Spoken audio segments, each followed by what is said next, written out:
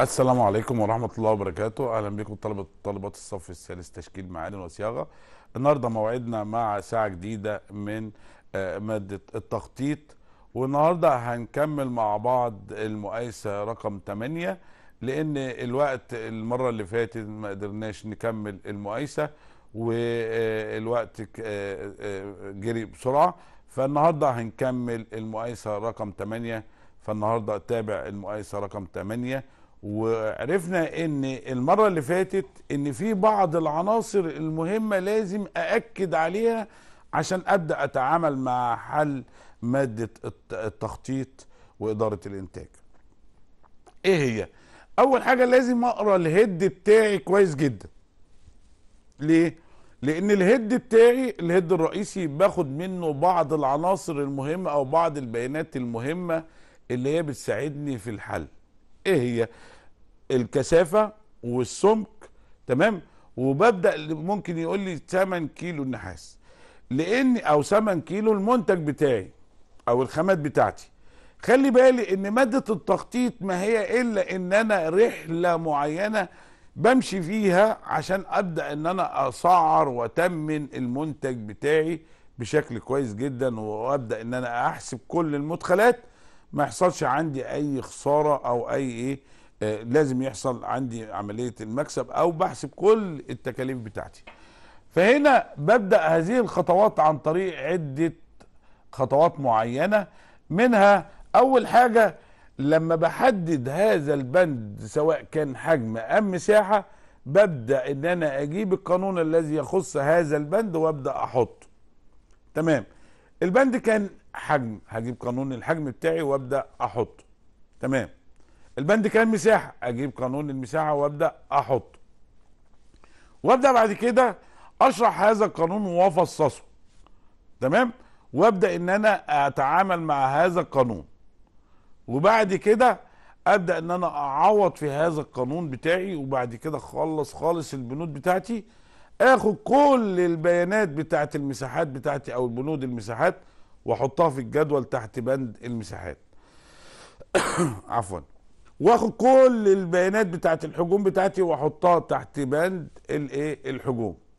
واجمع خانة المساحات واجمع خانة الحجوم تمام؟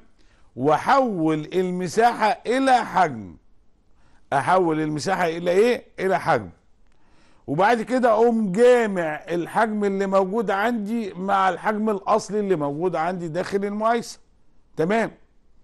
وبعد كده أحول هذا الحجم إلى وزن. أحول الحجم إلى إيه؟ وزن. تمام؟ عن طريق قانون معين. في بعض القوانين لازم أكون مركز عليها. حولت الحجم بتاعي إلى وزن. تمام؟ عن طريق ضرب الحجم في الكثافة.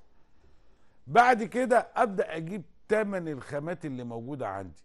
تمن الخامات حسب السعر اللي هو بيديهاني أنا ماليش دعوة هو قال لي سعر النحاس أو ال- ال- الفضة سعر أقل بالسوق أنا ماليش دعوة. أنا المهم البيانات اللي موجودة عندي داخل الإيه المقايسة بتاعتي عشان أقدر إن أنا أتعامل معاه تمام.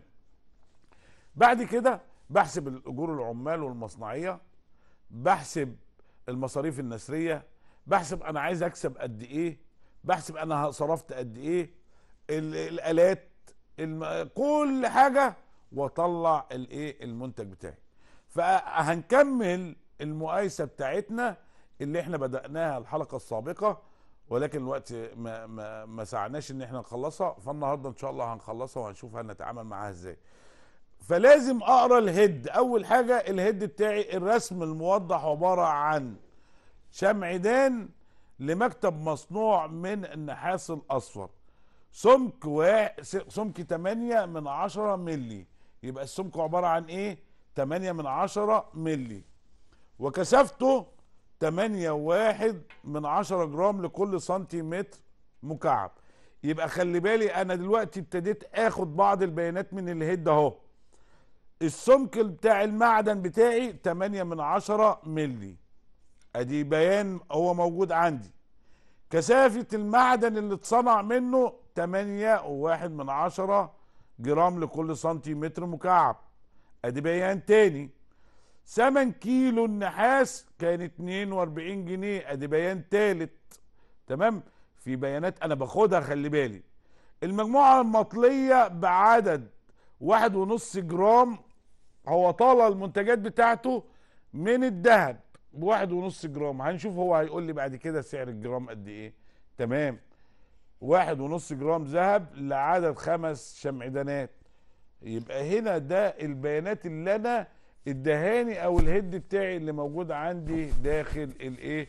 المقايسة بتاعتي. وأبدأ أبص على الشكل المنتج بتاعي.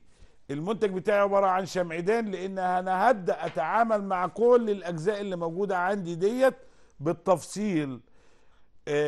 سواء كان جزء آه، جزء جزء حسب ما هو ي- إيه يقول لي. طبعا إحنا في الحلقة السابقة اتخذنا مجموعة من الأجزاء ووقفنا عند جزء معين. تمام؟ أول جزء موجود عندي مخروط ناقص قطره الأكبر اتنين وستة من عشرة سنتي والأصغر واحد وستة من عشرة سنتي وراسمه ستة من عشرة ستة سنتي. خلي بالي من حاجة هنا أنا كل المقايسة في مطلوب هو طالبه مني نفتكر مع بعض. مطلوب إن هو يتمن هذه المنتجات عن طريق مجموعة من البنود. طيب أول كان بند عندي المرة اللي فاتت كانت الأسطوانة المشطوفة. تمام حلو قوي النهاردة أنا ابتدى معايا بالمخروط الجزء اللي هو موجود في النص ده. طيب لازم عشان أبدأ إن أنا أتعامل مع هذا البند أسأل نفسي السؤال الأول. خلاص أنا بحاول إن إحنا نأكد على المعلومة أكتر من مرة عشان نحفظ ونفهم ونطبق. يبقى هنا أنا شغلت دماغي في جميع الإيه؟ الاتجاهات. عينيا شافت البند تمام. دماغي ترجمت القانون بتاعي ابتديت إن أنا أطبق حليت صح. تمام. يبقى أنا هنا شفت البند بتاعي شفت شكله جبت القانون بتاعي ابتديت إن أنا أطبق أعوض ألاقي نفسي حليت صح. بعد كده أقوم عامل إيه؟ باصص على الرسمة بتاعتي. مخروط ناقص. يا ترى هذا المخروط؟ بسأل أهو نفسي السؤال مصمت ولا مفرغ؟ لا قال لي مصمت ولا قال لي مفرغ قال لي تعامل انت. في الحالة دي هتعامل معاه على انه إيه؟ مخروط ناقص مفرغ. مخروط الناقص المفرغ عبارة عن إيه؟ حجم ولا مساحة؟ مساحة. طيب ادي شكل المخروط الناقص اللي موجود عندي في الرسمة بتاعتي. نرجع لبعض تاني ونشوف بقى. يا ترى القاعدة العليا اللي موجودة عندي عبارة عن إيه؟ عبارة عن دايرة ولا عبارة عن مربع ولا مسدس ولا إيه بالظبط؟ مخروط. دايرة. القاعده الصغرى دايرة. طب المخروط ده كامل ولا ناقص؟ كامل يبقى دايرة واحدة. قاعدة واحدة.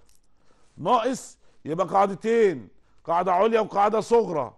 طب أنا قلت لكم قبل إيه كده؟ طالما عندي قاعدتين هات المتوسطة. عندي ارتفاعين هات المتوسطة. طيب قانون القاعده قانون المخروط الناقص المحيط المتوسط في الراسم. المحيط المتوسط في الراسم. خلي بالي من حاجة مهمة قوي لأن في بعض الأحيان هيجي يديني الارتفاع العمودي. الراسم ده اللي هو الضلع المايل بتاعي أو الوجه بتاعي المايل. تمام؟ خلي بالي. لو اداني الارتفاع العمودي هجيبه من قانون الراسم اللي هو عبارة عن إيه؟ الراسم قانون الراسم جذر التربيع. عين تربيع زائد مربع نص الفرق ما بين القاعدتين. مربع نص الفرق ما بين القاعدتين. يعني هجيب القاعدتين القاعدة الكبرى والقاعدة الصغرى واطرحهم من بعض واجيب نصها واربعها. كل ده تحت الجذر. بجمع عليه الارتفاع بتاعي بطلع الراسم لو هو اداني الارتفاع العمودي. دي في حالة الارتفاع العمودي. هقولها تاني هقولها تاني. جذر التربيعي. عين تربيع الارتفاع العمودي. عين دي اللي هي الارتفاع العمودي. عين تربيع زائد مربع نص الفرق بين القاعدتين. يعني أجيب القاعدتين وأطرحهم من بعض وأجيب نصها وأرجع أربعها وأحطها. تحت الجذر واجمعها على الارتفاع أجيب الراسم بتاعي. يبقى هنا أنا ما عنديش ادنى مشكلة. أشوف البند بقى هو اداني الراسم ولا الارتفاع العمودي. شفت كلمة صغيرة فرقت معايا في البند خالص كلية. يبقى هنا لو قال لي راسمه يبقى الراجل ده ريحني وكتر خيره. لأن أنا لا هخش على جذر ولا هخش على ارتفاع. طيب اداني الراسم يبقى هاخده زي ما هو واضرب في قانون الايه واحطه في قانونه أو في مكانه. قانون المخروط الناقص القاعدة المتوسطه أو المحيط المتوسط في الراسم. المحيط المتوسط ط ق واحد زائد ط ق اتنين على الاتنين ممكن آخد ط عامل مشترك يعني محيط القاعدة الكبرى زائد محيط القاعدة الصغرى على الاتنين طب ليه انت خدت ط ق لأن القاعدة عبارة عن دايرة. القاعدة عبارة عن إيه؟ دايرة. القاعدة عبارة عن دايرة. تمام. يبقى هنا مخروط ناقص قطره الأكبر اتنين وستة من عشرة سنتي والأصغر واحد وستة من عشرة سنتي وراسمه ستة سنتي. يبقى هنا أعوض في القانون بتاعي المساحة الجانبية. المحيط المتوسط في الراسم. ط ق واحد افتح قوس. ق واحد زائد ق اتنين على الاتنين في الراسم. ط بكام؟ ب 22 على 7 ق واحد ب 2 وستة من عشرة زائد واحد و... واحد وستة من عشرة على الاتنين. في ستة هيديني تسعة وتلاتين وستة من عشرة سنتيمتر مربع. وبكده أنا خلصت قانون الايه؟ المخروط الناقص وده احطه تحت بند المساحات بتاعتي. طيب يبقى أنا دلوقتي جبت القانون عوضت داخل هذا القانون وابتديت ان أنا ابدأ ان أنا احل واعوض ببدأ ان أنا اطلع الناتج بتاعي. طب بيقول لي نص كرة قطرها اتنين وستة من عشرة. نص كرة قطرها اتنين وستة من عشرة. طب يا ترى حجم ولا مساحة؟ مساحة. مساحة نص الكرة. هجيب الأول قانون الكرة. أربعة. ط نق تربيع. خلي بالي في عندي حجم الكرة وفي عندي مساحة الكرة. هو القانون ده حجم ولا مساحة؟ مساحة. مساحة الكرة؟ أربعة. ط نق تربيع. أربعة. ط نق إيه؟ تربيع. طيب هبدأ إن أنا أضرب في نص لأن هو عندي هنا نص كرة. تمام. يبقى نص أربعة في ط في نق تربيع. يبقى نص في أربعة في اتنين وعشرين على سبعة. النق عبارة عن 13 على 10 في 13 على 10 لأن النق تربيع هتديني 10 و 622 من 1000 سنتيمتر مربع. سنتيمتر إيه؟ مربع. وبكده يبقى أنا خلصت البند بتاعي. خلي بالي أنا هنا ضربت في نص لأن هو عبارة عن نص كرة. يبقى أنا خلي بالي بعمل إيه دلوقتي؟ أنا دلوقتي بركز معاكم أهو في حاجة مهمة. سألت نفسي السؤال الأول. يا ترى البند ده حجم ولا مساحة؟ حجم. تمام. لا ده مساحة. تمام. المهم انت عرفت حجم هات لي قانون الحجم. عرفت انه مساحة؟ هات لي قانون المساحة. ابدأ بقى. بص على الشكل وشوف. هل يا ترى الشكل ده كامل ولا جزء من الشكل؟ لأن بيقول لي إيه؟ ممكن يكون نص كرة. نص آه آه تلات أرباع كرة. يبقى هنا أنا بشوف الجزء اللي هو جابه لي قد إيه بالظبط. واضرب فيه نص أو حسب ما هو قال تمام. بعد كده ببدأ إن أنا أعوض في هذا القانون بلاقي نفسي حليت مظبوط. نشوف البند اللي بعد كده بيقول لي جزء منفذ بطريقة الخرط على طول مصمت. من قبل ما أكمل البند بتاعي إن هو مصمت. يبقى لأن هو منفذ بطريقة الخرط. جزء منفذ بطريقة الخرط يعني مصمت. تمام. أهو بيأكد ويقول لي من أسطوانة مصمتة. حجم ولا مساحة؟ حجم على طول طبعا. تمام. قطر قاعدتها واحد وتمانية من عشرة. وارتفاعها كام؟ واحد ونص سنتي طبعا.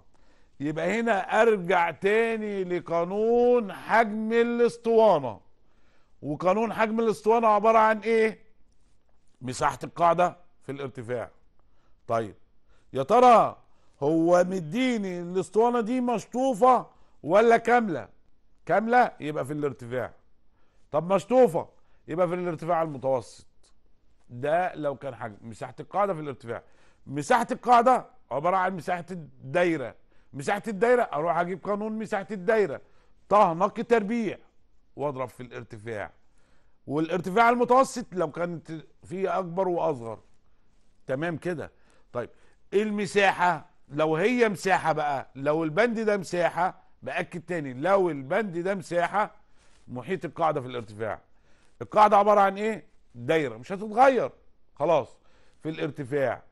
تمام. محيط الدايرة طه قاف في الارتفاع. طيب الارتفاع ده ارتفاع كامل ولا في شطف عندي؟ يعني ارتفاع متوسط ده كامل يا مستر. طب لو متوسط هجمع الارتفاع الأكبر زائد الارتفاع الأصغر وأقسم على اتنين. تمام. يا ترى بقى هسأل نفسي سؤال. الأسطوانة دي ليها قاعدة ولا ملهاش؟ لأن ممكن هو يقول لي ولها قاعدة عليا. يبقى في الحالة دي هجيب مساحة الدايرة وأجمعها على المساحة الجانبية. تمام. طيب ممكن يقول لي كمان إن الأسطوانة دي بيها ثقب نافذ. ده المصمطة. يبقى أنا هفرغ أسطوانة من أسطوانة. يبقى هجيب الحجم الكلي بتاع الاسطوانة واطرح منه حجم اسطوانة تاني. طيب في الاسطوانة المفرغة ممكن يقول لي إن القاعدة دي مفرغ منها دايرة. يبقى هنا المساحة الكلية ناقص مساحة الدايرة. دي ثوابت لازم أأكد عليها عشان ما يحصلش إن أنا أتلخبط في قلب أي مقايسة داخل مادة التكاليف. نرجع تاني للبند بتاعي بيقول لي جزء منفذ بطريقة الخرط. يعني جزء مصمت من اسطوانة مصمتة. قطر قاعدتها واحد وثمانية من عشرة وارتفاعها واحد ونص وادي شكل الاسطوانة.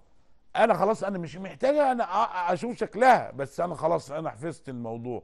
آدي الاسطوانة بتاعتي وادي القاعدة بتاعتها عبارة عن دايرة وأبدأ بعد كده أشوف القانون بتاعي. حجم ولا مساحة؟ حجم لأن اسطوانة مصمتة. محيط القاعدة ولا مساحة القاعدة؟ مساحة القاعدة. القاعدة عبارة عن إيه؟ دايرة يعني الطه نق تربيع في الارتفاع. يا ترى الارتفاع متوسط ولا ارتفاع؟ لا ده ارتفاع يبقى في عين. طيب طه بكام؟ ب 22 على 7 طيب نق بكام؟ 18 على 20 في 18 على 20 طب ليه يا مستر ضربتها مرتين؟ لأن هي تربيع في القانون بتاعي. أنا كده عرفت كل حاجة موجودة عندي في الارتفاع. طلعت الناتج بتاعي اللي هو حجم الاسطوانة. هاخده بعد كده على البند بتاع الايه الحجم اللي موجود عندي في إيه داخل الجدول بتاعي وأبدأ أحطه داخل الجدول بتاعي. يبقى أنا عرفت البند عبارة عن إيه فصصته وشرحته ودماغي ترجمت وعرفت القانون بتاعي وأبدأ إن أنا هنا أعوض هطلع الناتج بتاعي واشوف الجزء اللي بعد كده. جزء مشكل بأسلوب الجمع. آه ده أنا الحلقة السابقة قلت لكم إن خلي بالي في ثوابت عندي. لازم أأكد عليها تاني عشان نبقى عارفين. جزء مجموع. يا ترى حجم ولا مساحة؟ على طول حق مساحة لأن كل الأجزاء المجموعة مساحات. طيب مساحة الجزء المجموع مساحة دايرة. مساحة الدايرة عبارة عن إيه؟ طه نق تربيع. طه نق تربيع. طيب يبقى اذا طه ب 22 على 7 اللي هي نق حسب القطر بتاعي. تمام. جزء مجموع.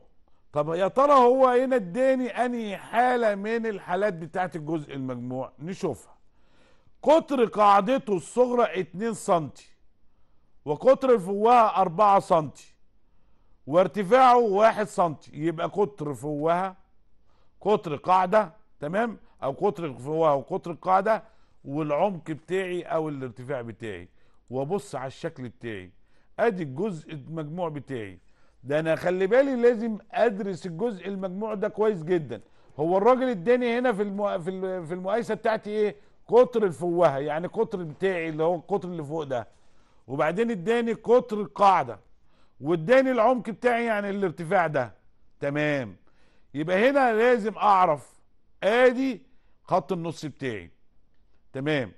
اداني إيه هو بقى؟ أنا النق بتاعتي عبارة عن الجزء ده اللي هو في الجنب ده زائد الجزء القاعدة بتاعتي. يبقى أنا النق بتاعتي عبارة عن إيه؟ الجزء اللي موجود على الجنب ده زائد القاعدة بتاعتي. زائد الحتة اللي موجودة عندي تحت دي. يبقى دي النق بتاعي. طيب خلي بالي أنا هعمل إيه بقى؟ هعمل كالآتي. هقوم نازل من هنا عمود كده زي ما أنا شايف في, الشاشة عندي تمام؟ قفلت الشكل بتاعي دوت إلى مثلث. ادي المثلث بتاعي أهو تمام؟ هاخد المثلث ده وأتعامل معاه بقى. آخد المثلث ده وأبدأ إن أنا أتعامل معاه. المثلث ده عبارة عن مثلث قائم الزاوية تمام؟ وده وتر الجزء ده موجود وتر عندي فيه. الوتر بتاع المثلث عشان أجيبه بيساوي إيه؟ مربع الوتر دوت أو مربع ال ال ال الوتر بيساوي مجموع المربعين المنشئين على الضلعين الآخرين. يعني هربع الضلع اللي موجود عندي ده زائد مربع الضلع ده. يبقى أنا القصة كلها إن أنا أجيب بيانات هذا المثلث. القصة عندي إن أنا أجيب إيه؟ بيانات هذا المثلث.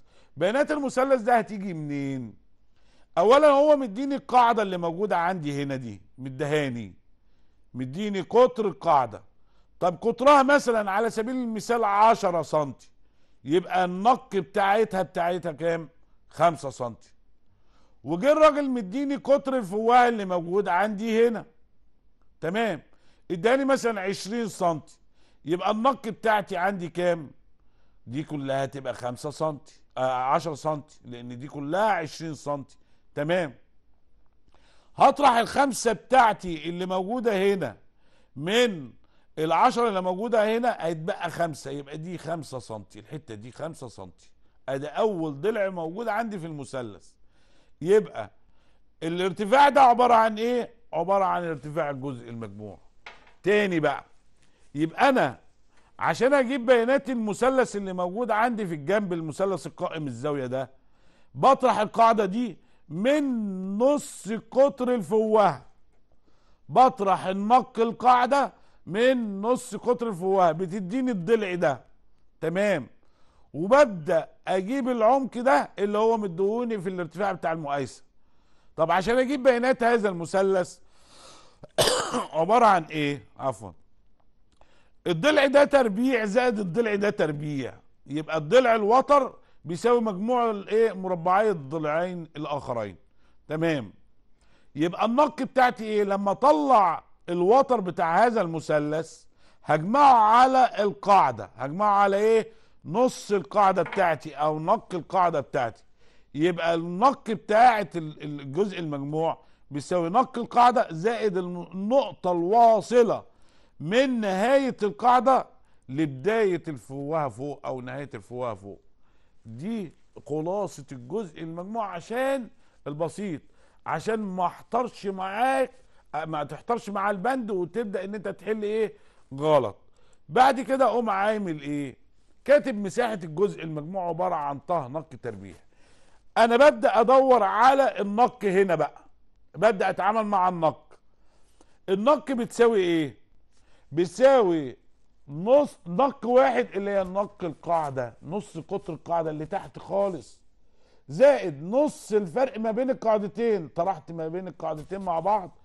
زائد مربع الارتفاع ادتني النق يبقى أنا كل القصة كلها إن أنا بجمع القاعدة بتاعتي.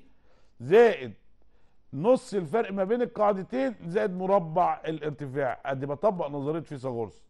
كل ده تحت الجذر طبعا. يبقى النق الواحد زائد واحد تربيع زائد واحد تربيع. كل ده ببدأ إن أنا أحطه تحت الجذر بعد التربيع أهوت وأطلع الناتج بتاعي هطلع قيمة النق بتاعتي. أطرح عليها نص قطر القاعدة بتاعتي اللي موجود عندي زي ما إحنا اتفقنا عليها من الأول. بيديني النق بتاعي جزء المجموع ككل.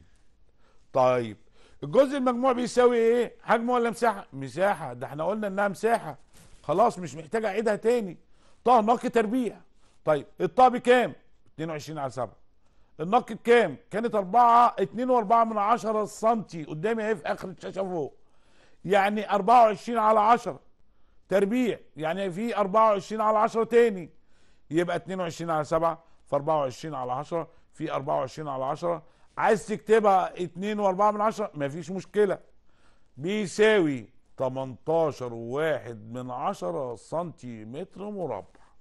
يبقى أنا كده تعاملت مع الجزء المجموع وفصصته وحللته وجبت النق وجبت المساحة بتاعتي.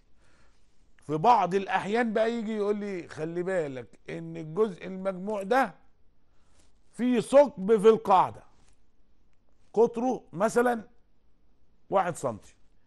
يبقى بعد ما اخلص كل الرحلة بتاعت فيثاغورس والجزء المجموع واسقط العمود واتعامل مع المثلث لازم أطرح منه الدايرة أو الثقب بتاعي. تمام؟ الثقب بتاعي عبارة عن إيه؟ طه نق تربيع. يبقى أنا عندي طه نق تربيع بتاعت الجزء المجموع وعندي طه نق تربيع بتاعت الإيه؟ الدايرة أو الجزء المفرغ. خلي بالي دي حاجة ودي حاجة. لأن في بعض الأحيان أنا بتلخبط وأنا بحل. ممكن يجي يقول لي إيه ده متفرغ منها مستطيل. هو حسب ما هو عايز ويبدأ يقول لي. تمام؟ يبقى أنا هنا اتعاملت معاها وجبت المساحة الصافية حسب الشكل اللي هو هيقول لي عليه. تمام؟ ونخش على البند اللي بعد كده. منشور قائم خلي بالي هنا بقى. منشور قائم. ذو إيه بقى اثنا عشر ضلع محزز طوليا طول ضلعه قا... ضلعه واحد سنتي وارتفاعه اتنين ونص سنتي وله قاعدة سفلى. له إيه؟ قاعدة سفلى. بأكد عليها تانية إن له قاعدة سفلى. خلي بالي المنشور ده ماله؟ ذو اثنا عشر. طيب نرجع مع بعض تاني ونشوف. خلي بالك من حاجة مهمة قوي لأن البند ده ممكن يلخبطني. ممكن إيه؟ يلخبطني. هل هو حجم ولا مساحة؟ مساحة. لأن المنشور مفرغ ما قاليش لا مصمت ولا قال لي مشكل بواسطة السباكة ولا قال لي أي حاجة. يبقى ده مساحة. محيط القاعدة في الارتفاع. محيط القاعدة هنا عبارة عن إيه؟ ضاد في 12 خلي بالنا عشان أنا متعود في المقايسة كلها أنا خدت ضاد في 6 طول الضلع الستة لأن كان سداسي. هنا الوجه عندي 12 وجه. يبقى القاعدة في المسقط الافقي عبارة عن إيه؟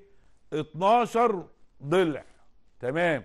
يبقى ضاد في 6 ضاد في 12 تمام. في الارتفاع. محيط القاعدة في الارتفاع. ولكن رجع قال لي حاجة مهمة قوي قال لي إن له قاعدة سفلى. له إيه؟ قاعدة. طب قاعدة ولا قاعدتين؟ ده له قاعدة واحدة. طيب القاعدة عبارة عن إيه؟ مساحة القاعدة. مساحة القاعدة مساحة الاثنى عشر. ذو اثنى عشر. ده التربيع في المعامل الحسابي. يبقى أنا جبت المساحة الجانبية مساحة القاعدة جمعتهم على بعض ادتني المساحة الكلية. طب ممكن في هذا البند برضو أقول إن في قاعدة صغرى أو قاعدة قاعدة للمنشور ومفرغ منها جزء تاني يبقى المساحة الصافية. المساحة الجانبية زائد مساحة القاعدة ناقص مساحة الثقب يبقى هو ما قاليش الكلام ده قال لي إيه بقى؟ قال لي إن منشور ذو 12 وله قاعدة. يبقى المساحة الجانبية زائد مساحة القاعدة. ما تنساش مساحة القاعدة. عفوا ما تنساش مساحة القاعدة لأن في بعض الأحيان أنا بنسى مساحة القاعدة دي ويبقى أنا حليت البند كله كويس ولكن جيت ما كملتش البند بتاعي فما كملتش الحل مظبوط فطلع الحل مش مظبوط مش هاخد الدرجة مظبوطة. نرجع تاني للبند بتاعي. ذو اثنى عشر. ضلع. المساحة الجانبية عبارة عن إيه؟ محيط القاعدة في الارتفاع.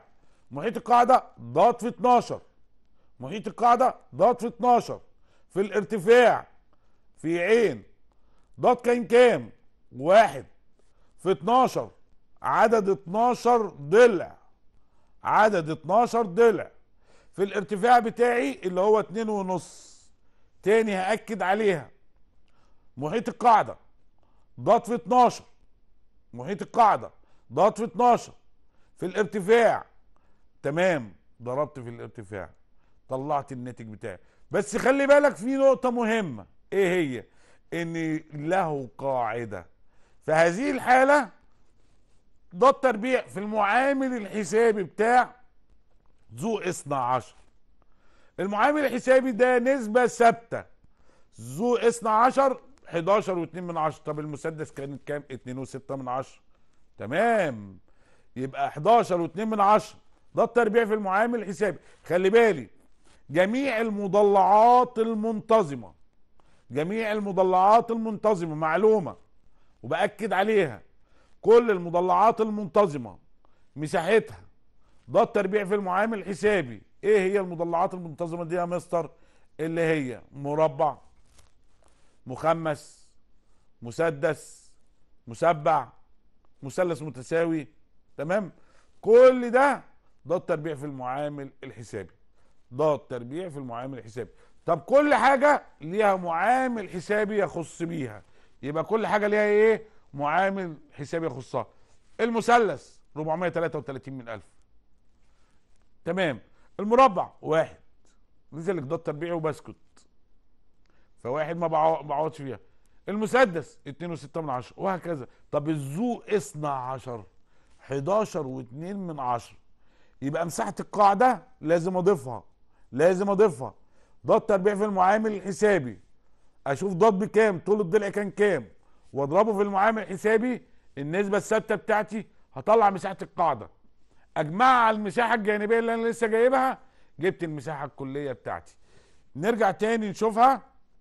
يبقى هنا ضاد تربيع في المعامل الحسابي ضاد كانت بواحد تربيع يعني واحد في واحد المعامل الحسابي واحد 11 واتنين من عشرة تمام؟ بيساوي 11 واتنين من عشرة لأن واحد في واحد في 11 واتنين من عشرة آه، يبقى بيساوي 11 واتنين من عشرة سنتيمتر مربع. طب المساحة الكلية للمنشور إيه بقى؟ تمام. المساحة الجانبية كانت 30 زائد مساحة القاعدة اللي أنا لسه جايبها ال 11 واتنين من عشرة. تمام. طلع الناتج بكام؟ 41.2 ودي المساحة الكلية. يبقى أنا حليت مظبوط وحليت صح أخدها أحطها في الجدول بتاعي تحت بند المساحات بعد ما أخلص خالص يبقى أنا ماشي مظبوط. تمام. جزء مشكل بأسلوب الجمع على المخرطة. قطر قاعدته الصغرى 4 سم جاب لي قطر قاعدته الصغرى وقطر الفوهة أربعة وخمسة من خمسة وأربعة من عشرة سنتي وارتفاعه. لاحظ إن البنود بتتعاد وتتكرر. يبقى أنا لو فهمت مرة هطبق بعد كده مش محتاج إن أنا خلاص إن أنا كل مرة أبقى الموضوع صعب بالنسبة لي. وأبص على الرسمة بتاعتي وأبدأ أعوض. قطر فوقها كان كام؟ أعرفه. أجيب خط النص بتاعي. تمام. وابدأ إن أنا أشوف النق بتاعتي عبارة عن إيه زائد إيه؟ الضلع اللي طلع لي دوت. زائد ضلع القاعدة ديت اللي هي نص القطر. تمام. هعمل إيه يا مستر؟ أنزل عمود هنا في نهاية القاعدة وأقفل شكل المثلث اللي موجود على الجنب ده. تمام. والمثلث ده عبارة عن إيه؟ الوتر بتاعي عبارة عن مجموع المربعين المنشئين على الضلعين الآخرين. يعني هبدأ أجيب مساحة الجزء المجموع مساحة الجزء المجموع. طه نق تربيع. طيب يبقى أنا هنا بدور على النق. النق دي عبارة عن إيه؟ نص القاعدة بتاعتي. نص القاعدة بتاعتي نق. زائد نص الفرق ما بين القاعدتين تربيع لازم أربع عشان نظرية فيثاغورس. زائد مربع الارتفاع. كل ده تحت الجذر لأن أنا هنا قايل نق مش قايل نق تربيع. تمام. وابدأ ان أنا اطلع الناتج بتاعي. يبقى هنا نق بيساوي 2 زائد ات- سبعة من عشرة تربيع زائد واحد تربيع. بن- يبقى النق بتساوي إيه؟ اتنين زائد تسعة من عشرة زائد واحد من ع- واحد. يبقى طلعت الناتج بتاع النق بتاعتي تلاتة واتنين من عشرة. أبدأ أعوض آخد النق دي وأحطها في قانون المساحة. يبقى أنا كل القصة واللفة دي كلها عشان أجيب النق. في بعض الأحيان خلي بالي إن هو بيديني النق مباشرة أو بيديني القطر مباشرة. يبقى أنا مش محتاج إن أنا أدور على نق في هذه الحالة. لا ده هنا أنا دورت على النق وجبتها. يبقى المساحة عبارة عن إيه؟ طه نق تربيع. طه بكام ب 22 على 7 النق لسه طالعه إيه 3 و2 من 10 تمام. في 3 و2 من 10 اللي هي 32 على 10 في 32 على 10 بتساوي 32 و18 من 100 سنتيمتر مربع. حليت البند مظبوط خدت الدرجة بتاعتي مظبوطة طلعت بالنتيجة كويسة. تمام. طب الخطوة اللي بعد كده؟ حلقة دائرية قطرها الداخلي خمسة من عشرة. آه، خمسة وأربعة من عشرة سنتي واقطعها نصف دايرة. لازم أسأل نفسي سؤال مهم قوي هنا بقى الحلقات دي عبارة عن إيه؟ مصنوعة من إيه؟ مصنوعة من سلك. كل الأسلاك عبارة عن حجم. حجم السلك عبارة عن إيه؟ مساحة المقطع في المحيط المتوسط إذا كان ملفوف وإذا كان طولي يبقى في طوله. مساحة المقطع في طوله تمام. يبقى هنا مساحة المقطع في آه، المحيط المتوسط لو كان ملفوف.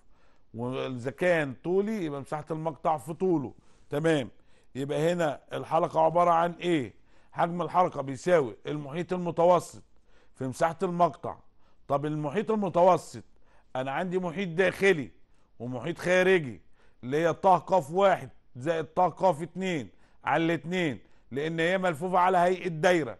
في آه، مساحة المقطع اللي هي طه نق تربيع لأن مقطعها عبارة عن دايرة. نرجع تاني مع بعض ونركز مع بعض ونشوف أنا عملت إيه في هذا البند. يبقى البند ده عبارة عن إيه؟ سلك ملفوف على هيئة دايرة ومقطعه دايرة. طيب القطر الداخلي دايرة القطر الخارجي دايرة المقطع بتاع السلك دايرة. طب هل يا مستر مقطع السلك ده ممكن يتغير؟ آه. ده إحنا درسناها في مادة العمليات إن أنا ممكن أغير مقطع السلك ده يبقى مسدس يبقى مربع يبقى مستطيل حسب ما أنا عايز ممكن نص دايرة. يبقى مساحة المقطع في المحيط المتوسط. طب يا مستر ان ممكن السلك ده ما لفوش على هيئة دايرة؟ آه يبقى هو دايرة وملفوف على شكل مستطيل. يبقى هو دايرة وملفوف على شكل مربع. طيب هنا ملفوف على هيئة إيه؟ دايرة. يبقى المحيط المتوسط عبارة عن المحيط الداخلي زائد المحيط الخارجي على الاتنين. المحيط الداخلي طه والمحيط الخارجي طه على الاتنين وابدأ أعوض أجيب المحيط المتوسط. مساحة المقطع محيط الدايرة أو مساحة الدايرة اللي هي بتاعت مقطع السلك ذات نفسه. مساحة المقطع طه نق تربيع. ونشوف هنعوض إزاي مع بعض. يبقى طه افتح قوس قاف واحد زائد قاف اتنين على الاتنين.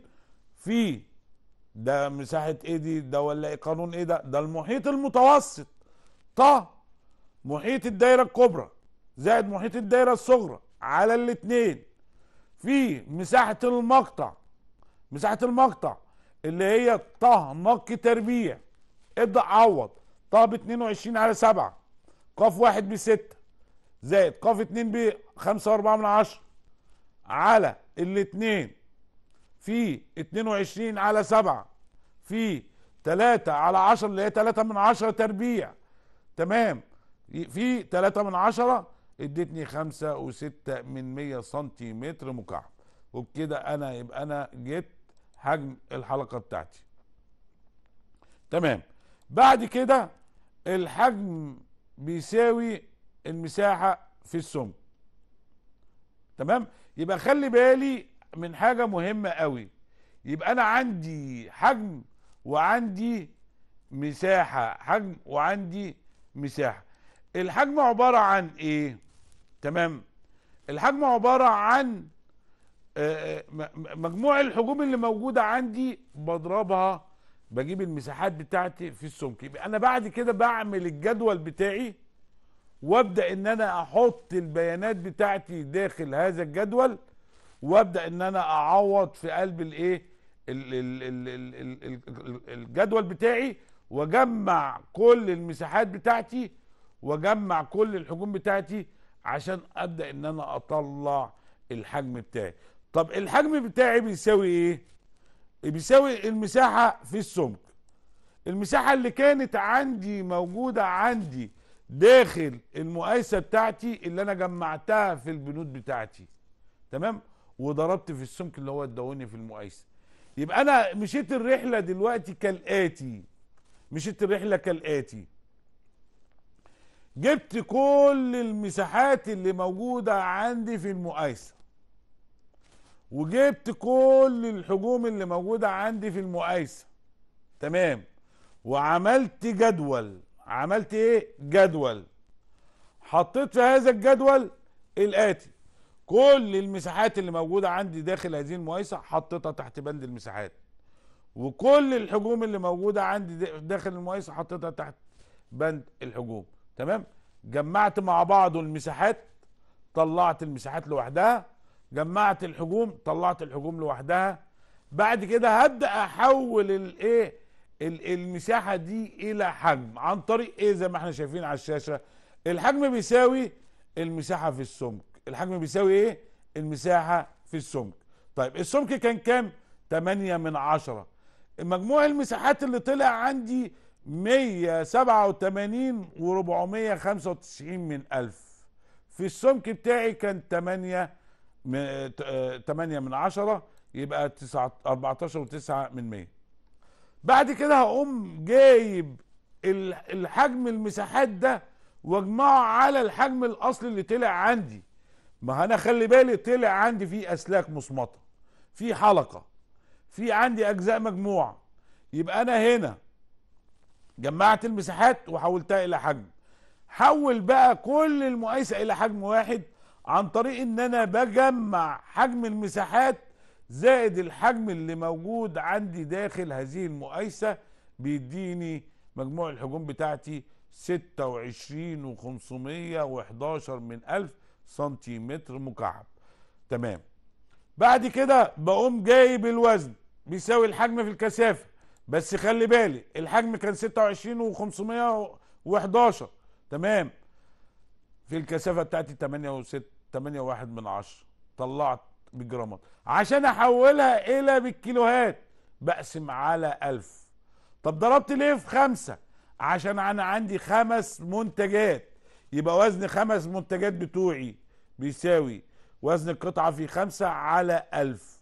طلعت واحد وك- وواحد وسبعة, وسبعة من مية كيلو جرام تقريبا. بعد كده ببدأ أجيب ثمن الخام بتاعي. ببدأ أجيب إيه؟ ثمن الخام بتاعي والمصنعية. تمام؟ ثمن الخام بجيب ال- الوزن اللي حصل عندي واضربه في الإيه؟ في ثمن الكيلو بتاعي. بعد كده أجيب المصنعية بتاعتي بضرب عدد العمال في عدد الأيام اللي هو ابتدى إن هو يجيبها. تمام في الأجر اليومي للعامل. يبقى عدد العمال في الأجر اليومي في ع... في عدد الأيام اللي اشتغلها. بعد كده بطلع المصنعية بتاعتي طلعت 240 جنيه.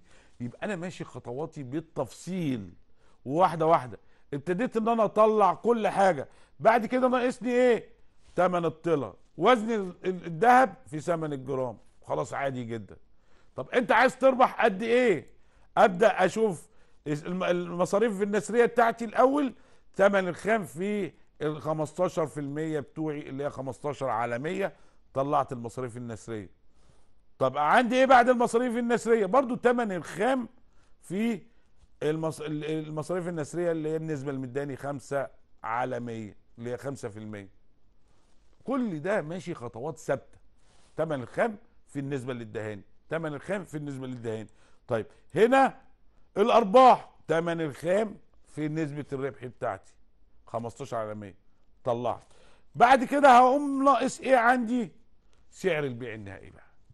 هجمع كل التفاصيل اللي كانت عندي في المقايسه تمن الخام أجور العمال ثمن الطلة المصاريف النسرية مصاريف العمر الافتراضي نسبة الأرباح.